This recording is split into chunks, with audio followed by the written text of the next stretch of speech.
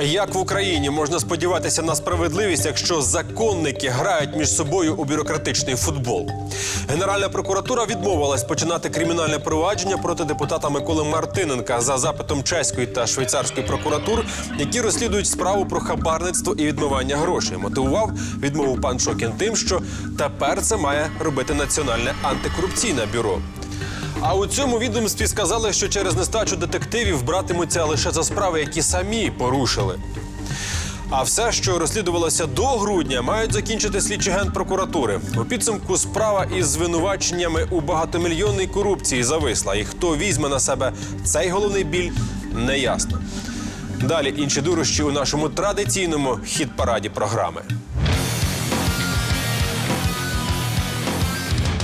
Спокуслива пропозиція. Керівництво фейкової ДНР запропонувало донецькому шахтарю повернутися на Донбас арену. Однак висунули умову відмовитися від чемпіонату України та Ліги Чемпіонів. Таким чином, замість матчів із мадридським реалом, Мюнхенською Баварією та лондонським Челсі, гірники матимуть змогу випробувати свої сили у двобоях із горлівським мінометником, єнакіївським кадирівцем і макіївським ураганом. Дербі з київським Динамо доведеться проміняти на видовищні протистояння з Динамо Сухумі. Замість участі на Євро 2016 грати з нагірним Карабахом і Південною Осетією. Премії за перемогу футболістам Шахтаря виплачуватимуть гуманітаркою. А от програвати не бажано. Можна опинитися у підвалі чи в окопах. Российских войск на Украине нет.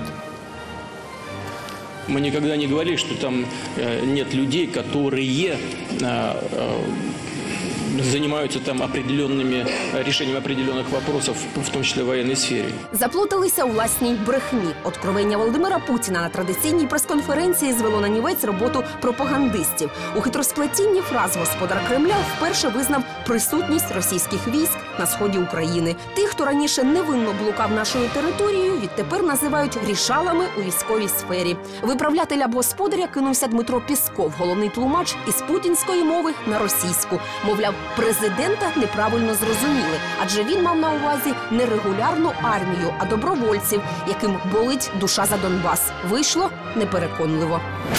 Документи пред'явіть, будь ласка. Пред'явіть ваші документи.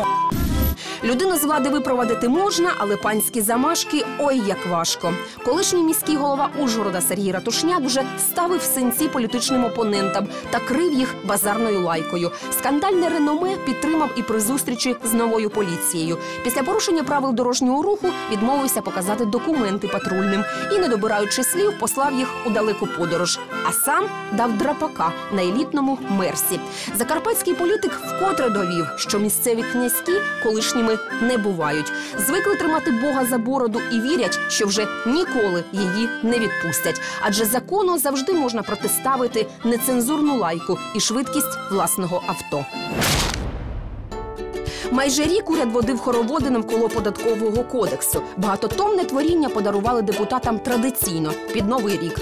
Запевняли, документ підготували найкращі британські експерти. Приймати його потрібно терміново, адже від цього залежить майбутнє бюджету і допомога МВФ, без якої країна швидко полетить шкереберть.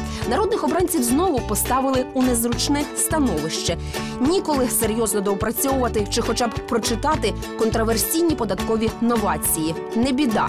Усе уже вирішили за вас. Лишень тисніть кнопку, коли ж стало зрозуміло, що часу на вмовляння норовливих депутатів немає. Вирішили податкові дискусії перенести на наступний рік. А державний кошторис ухвалять за старим законодавством, похабцем із думками про тепле море та зелені пальми.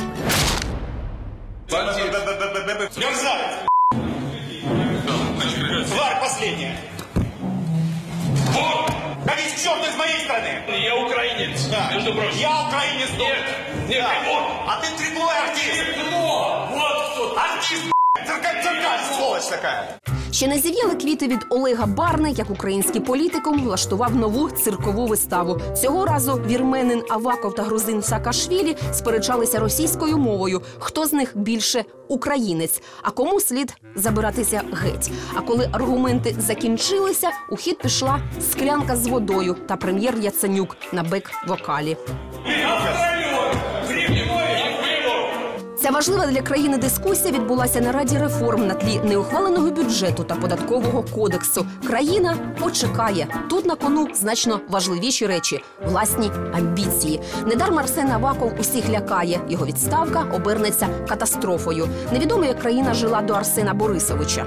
З кожною серією цієї трагікомедії суспільство усе більше погоджується з Арсенієм Яценюком, який нарешті сказав правду. Ну, дебилов много, ну что?